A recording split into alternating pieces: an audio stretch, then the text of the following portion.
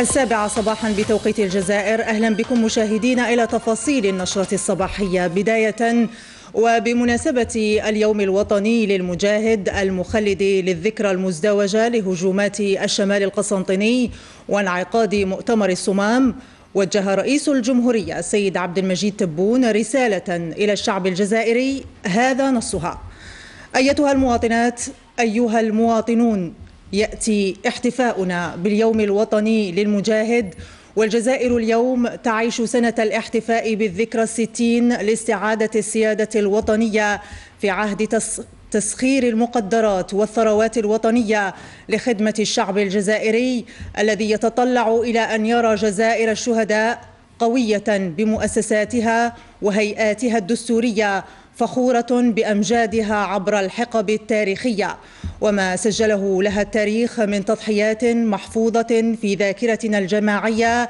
التي يقع على عاتقنا واجب صونها ويتعين علينا السهر على حمايتها من مكر أولئك الذين ما زالوا يجرون وراءهم منذ عقود حقدهم على انتصار الجزائر المستقلة السيدة وبطولات خالدة.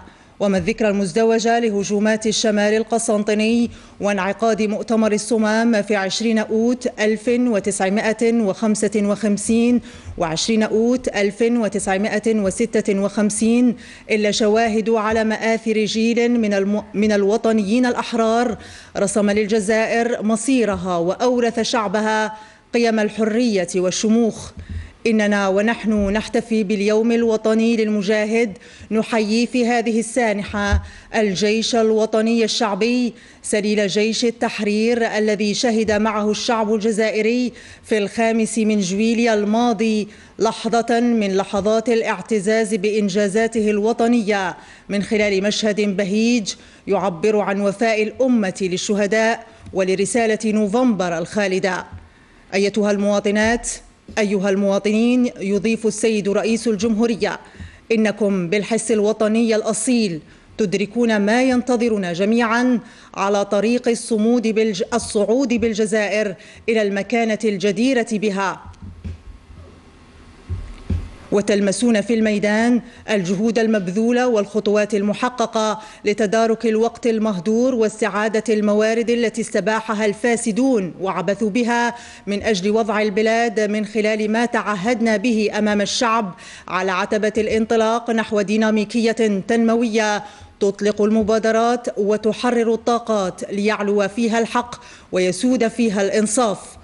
وإنني أكرر بهذه المناسبة الوطنية الخالدة أنه لا مكان في الجزائر التي نبنيها معا للممارسات التي أضرت بثقة الشعب في مؤسسات الدولة وأن القانون فيها يردع كل من يجرؤ على حرمة أموال الشعب أو يسيء لضوابط شرف الانتماء إليها.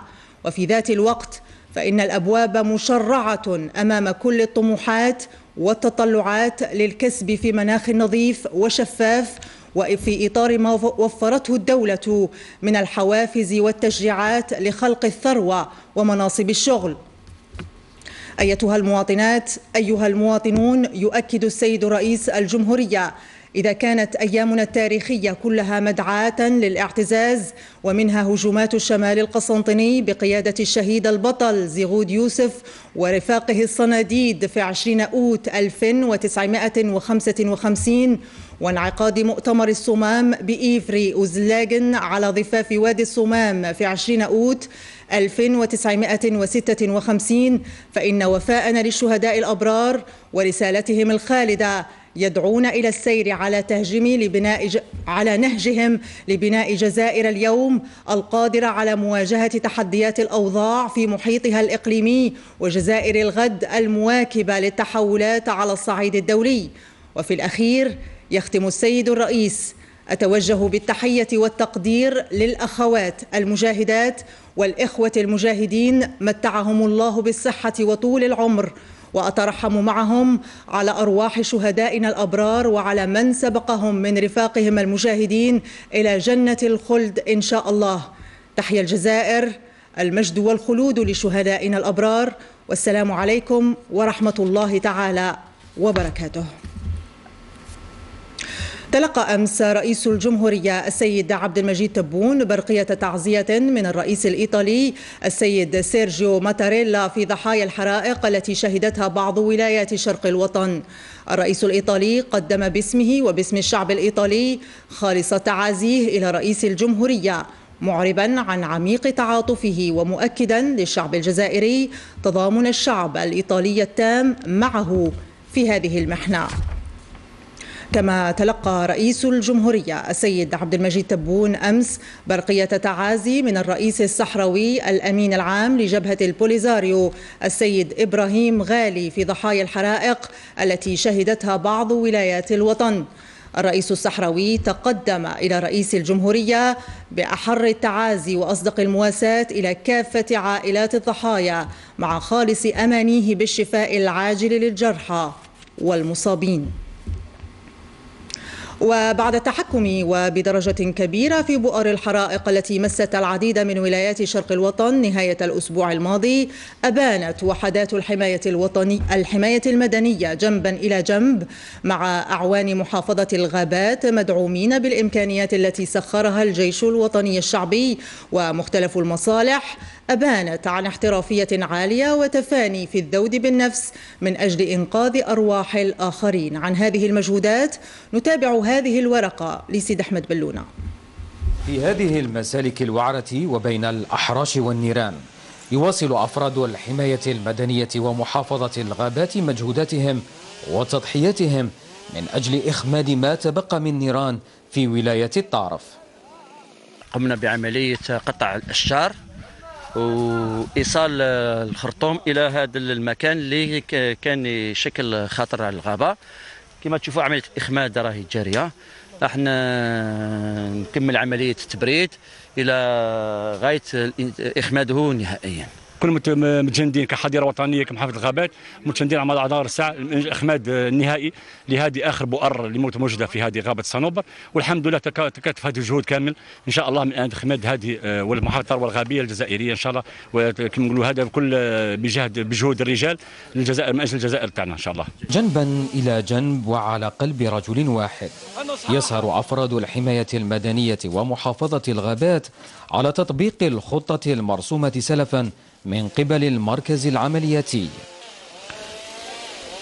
أعوان ذو خبرة وتكوين متخصص وإرادة قوية. القوة العزم والإصرار. صفات قد لا تكفي لإيفاء هؤلاء الرجال نعتهم الحقيقي. يواجهون الخطر غير مبالين بالجمر الذي تطأه أقدامهم ولا العرق الذي يتصبب من رؤوسهم. أنا مواطن. أنا من محافظة الغابات. أنا عون من الأعوان الحماية المدنية مواطنون حراجيون أو أفراد حماية مدنية. لا تهم الصفة أمام نداء الوطن. فالكل مجند من أجل هدف واحد. هذه هذه الأرض هذه دفعوا عليها آه، باياتنا وجدودنا. وحنا قاعدين نكملوا في المهمة إن نحموها من الحرائق هذه. وإن شاء الله نكونوا دائما في المستوى. إحنا رانا 24 ساعة على 24 ساعة متجندين. الغابة إحنا وإحنا الغابة. اللي خلوه الشهداء والمجاهدين رانا نكملوا فيه. رانا لازمنا نحموا العباد ونحموا الغابة. نحن مع بعضنا البعض آه، أعوان مدنية وضباط ومسؤولين وإخوان فرقة الغابات آه، مسؤولين وأعوان متجندين لمحافظة على الغابة وإطفائها بكل ما أوتينا من قوة. هنا تنزع كل الاعتبارات ويبقى اعتبار واحد اسمه الوطن. قد تتعدد طرق حبنا لوطننا لكن الهدف هو واحد الهدف يبقى دائما سامي. هنا الحماية المدنية أفراد محافظة الغابات والمواطنون رفعوا العهد لن يكلوا ولن يملوا إلا عند إطفاء هذه الحرائق هنا في ولاية الطرف. نعم. الهدف واحد والصورة أصدق من كل تعبير. وبالعودة إلى موضوع إحياء الذكرى المزدوجة لهجمات الشمال القسنطيني وانعقاد مؤتمر الصمام التي تعد محطة هامة في تاريخ الجزائر الحافل بالتضحيات والبطولات من أجل أن تحيا الجزائر في كنف الحرية والاستقلال. وقفة استذكار لهذه البطولات في هذه الورقة لربيع بوزيتي. لم تزل ثورة نوفمبر المجيدة. تقض مضجع الاستعمار الفرنسي منذ اندلاعها عام 54 حيث استنفذ كل السبل لإخمادها ونزع فتيلها انطلاقا من وصفها بكل النعوت على غرار حرب عصابات حركة تمرد وغيرها من الأوصاف وصولا إلى محاولات تطويقها ميدانيا لكن ساحات الوغى دمغت هذه المزاعم من خلال هجومات الشمال القسنطيني التي شنها جيش التحرير الوطني بقيادة البطل زيغود يوسف بتاريخ العشرين أوت خمسة وخمسين إذ رسخت الاقتناع بأن الثورة ثورة شعب هب للتحرر واسترجاع سيادته الوطنية وهي الهجومات التي أعطت نفسا متجددا للثورة. نفسا كان بحاجة إلى إحكام التنظيم الثوري وتقييم مسار الكفاح لمعالجة الاختلالات واستدراك الثغرات التي برزت خلال سنتين من اندلاع الثورة المسلحة. وكان ذلك في رحاب مؤتمر الصمام في العشرين أوت ستة وخمسين بقرية إفري أوزلاجن ببجاية. هذا اليوم أعطى دفعة إعلامية قوية عالمية عالمية على أن الثورة الجزائرية لم تنتهي وإنما نهضت وكأنها نوفمبر جديد. كذلك أيضا هذه الهجومات أعطت رسائل للعالم بحيث فرضت القضية الجزائرية في الأمم المتحدة في الذكرى العاشرة بأن هذا الدورة تكسب فيها القضية الجزائرية وتنهزم فيها فرنسا صاحبة العراقة الدبلوماسية. مؤتمر الصمام كان محطة تقييمية وتنظيمية لمستقبل الكفاح من أجل التحرر. بما خرج به من قرارات منها إصدار وثيقة سياسية شاملة تعتبر قاعدة إيديولوجية تحدد منهجية الثورة المسلحة مرفقة بتصور مستقبلي للآفاق والأسس التنظيمية للدولة الجزائرية. في هذا الميثاق تم فيه تحديد الحدود الدولية للدولة الجزائرية. تم تحديد فيه مبادئ السياسة الدبلوماسية الثورية للثورة الجزائرية.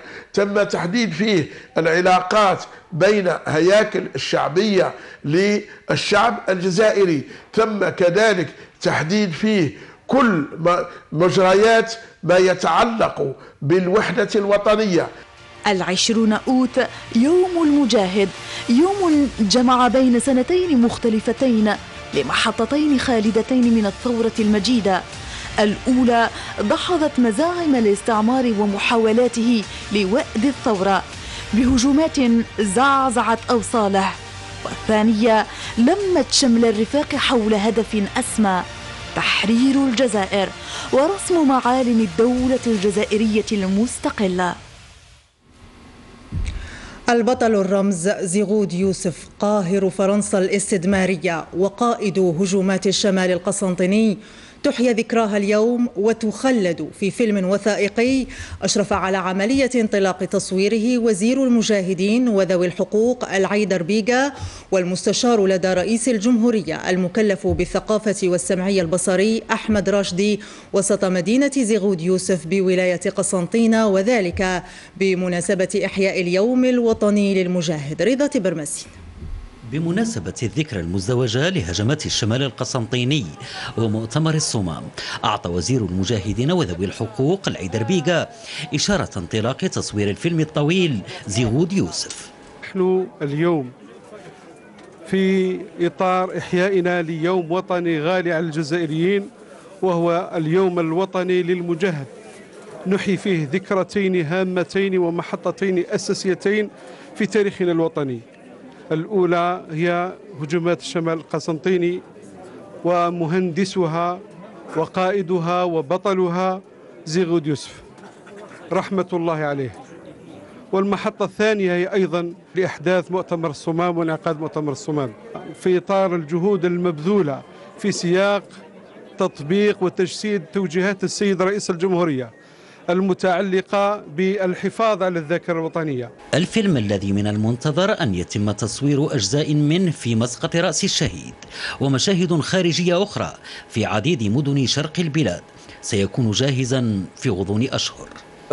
كناش قادرين نتصوروا إطلاق مشروع مثل هذا آه، في في يوم آخر غير هذا اليوم التاريخي اللي هو طبعا ذكريات الهجوم هجومات شمال القسنطيني فهذه الانطلاقة الشرفية للمشروع. إن شاء الله راح تبدأ تحضيرات وإن شاء الله يكون المشروع الفيلم على مستوى طموح الجماهير. عن شخصية الشهيد يرى علي بطل الفيلم أنه رغم صعوبة الدور فإن تقمص هكذا شخصية سيكون إضافة لرصيد أي فنان. ثقل للشخصية الشخص يضحي بحياته من أجل أن يعيش آخرون في الحاضر وفي الأجيال القادمة ما هيش سهلة. شخصية ثقيلة جدا وتتطلب مجهود.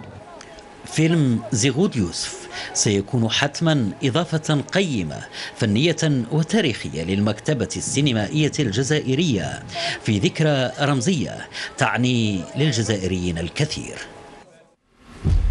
في الرياضة العسكرية ومواصلة للفعاليات المسابقة العسكرية الدولية الفصيلة المحمولة جوا 2022 شهد ميدان القفز للقاعدة الجوية عين والسارة بالناحية العسكرية الأولى اليوم إجراء منافسة القفز المظلي.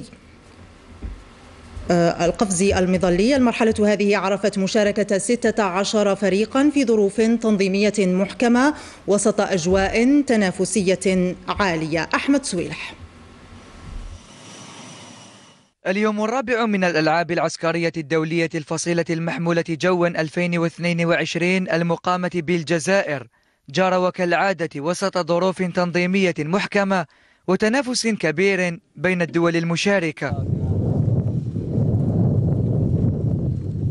16 فريقا كان على موعد بعين وسارة مع منافسة القفز المظلي بقوام فصيلة مع تنفيذ سباق على مسافة عشرة كيلومترات. وأبان فيه الرياضيون عن إمكانيات بدنية وتقنية عالية تتناسب وطبيعة مهام الفرد العسكري خاصة في الظروف الصعبة.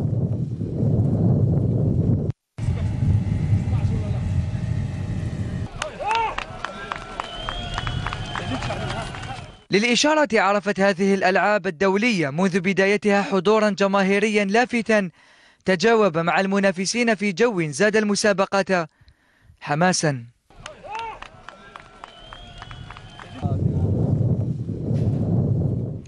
في الرياضة دائما استعدادات وتحضيرات متواصلة بولاية مستغانم تحسبا لاحتضان كأس العرب لكرة القدم للمنتخبات عند فئة الناشئين وسط إشادة وتثمين من قبل الأسرة الرياضية لاختيار ولاية مستغانم استضافة هذا الحدث العربي الرياضي محمد الأمين بقدوري. مدينة مستغانم تجمع بين الطابع السياحي الثقافي والرياضي تتأهب هذه الأيام لاحتضان كأس العرب عند فئة الناشئين في طبعتها الرابعة.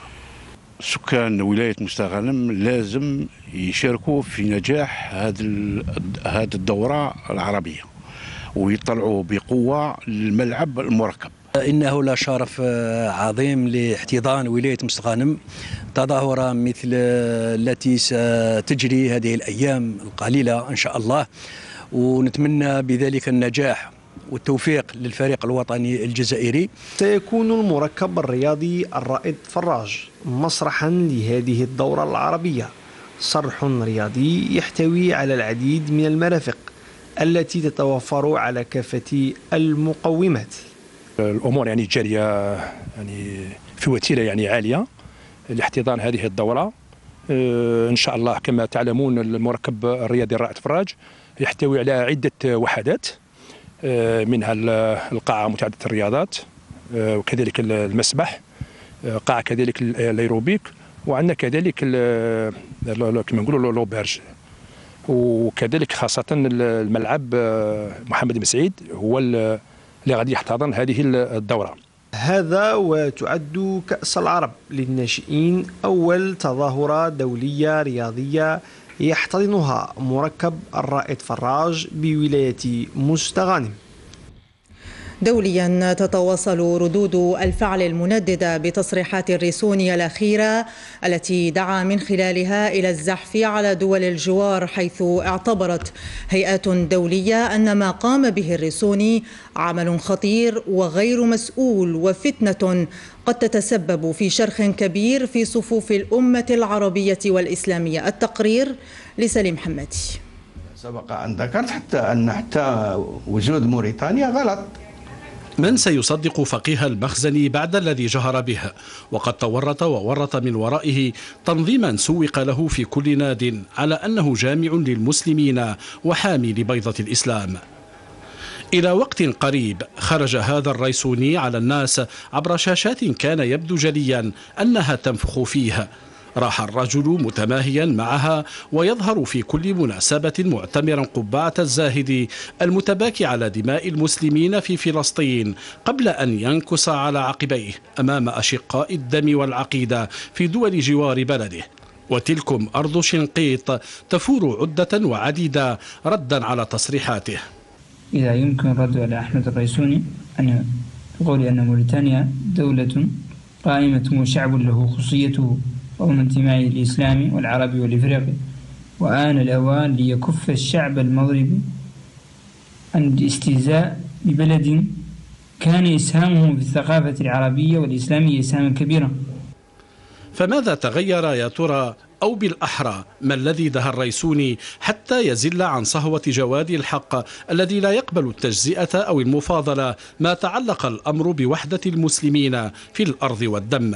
ثم ما الذي جعل من رئيس اتحاد عام لعلماء المسلمين يقفز على حبل الله ويعتصم برواية المخزن الضعيفة المضعفة بقوة التاريخ والجغرافيا والشرائع الدولية وينذر نفسه معولا في يد مخزن ضال مضل يتلو القرآن في المساجد ويقرأ التلموذ في المحافل على أتباعه من خشارة خزنية. ذات المحافل لم يعد خفيا والحال هذه بات يلهج بتعاليمها عديد النخب المزيفة المنحرفة عن الأصول في مجالات شتى بمن فيهم رجال دين متزلفين. نخب باتت تحمل مشروعا متصهينا استدماريا توسعيا وتتحامل على قيم شعوبها ما إن وجدوا إلى ذلك سبيلا. فتبا لقلم أعرج لا يمشي إلا بعكاز وتبا لفقيه لا يفتي إلا بمهماز. نعود إلى أخبارنا الوطنية لنختم بالذاكرة التاريخية. ذاكرة تؤرخ لبطولات شعب حرر وطنه من بطش مستدمر وقادة ثورة حيرت جيوش الأطلسي أنذاك. الزميل مالك درحمون زار البيت حاضن مؤتمر الصمام الشاهد على عبقرية شباب خطط وهيكل لدحر الغزاة. هنا وسط هذه الجبال وقبل ستة وستين عاما وبقرية إفري أوزلاغن كان المنعرج الحاسم للثورة الجزائرية من خلال انعقاد مؤتمر الصمام والذي حضره كبار قادة الثورة والذي أعطى بعدا آخرا لها. باش نعس المهم يغد كان وين يصبن بغير لي سي باسيغ اجتي يعدي ولي ساعة لي سي باسيغ؟ غادي يصوب. هذه يعدي وين الديالين وين الديالين الصبارة. المهم من كل فرق راه يعسسون فرنسا غاسمي السلا نكامش توني شاد ولاية نجمع دقيق من الكونغري جاني بوست. ودو الاخبار والعمير رحمة الله هو الأول اللي سبق لنا وحضر لهم كل شيء. حضر لهم أماكن النوم حضر لهم أماكن الاجتماع حضر لهم وين الأكل.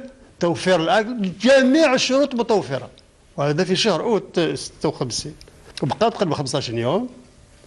وبعد شفنا المؤتمر المجتمع خرجوا كلهم من مكان واحد. وقاموا بمسيرة بمسيرة بأنشودة جزائرنا يا بلاد الجدد. طبيعة المكان وصعوبة التضاريس كانت عاملا مهما في اختيار القادة للمنطقة للحفاظ على سرية المؤتمر. وعدم اكتشافه من العدو الفرنسي. كما حكاونا في هذاك الوقت حتى واحد ما على بالو يعني واش واش صرا في في في هذه المنطقة تاع وزلاقن آه الناس على بالهم بلي آه كاين كاش حاجة مي بصح حتى حتى واحد ما على بالو واش صرا. وكاينين الناس يعسوا هكذا. آه، الرؤساء ولا الحكام نتاع الآخر جيش التحرير اللي نظموا هذاك المؤتمر آه، داروها في, يعني في السر ما كانش. مؤتمر الصمام محطة فارقة في تاريخ الثورة الجزائرية. فمن خلال هذا المكان تم إعادة هيكلة الثورة وتقسيم المناطق إلى ولايات تاريخية والتي كان لها بعد قوي في تحقيق النصر على الاستعمار الغاشم. ختام النشرة الصباحية شكرا لكم على المتابعة. ألقاكم في تمام التاسعة. السلام عليكم.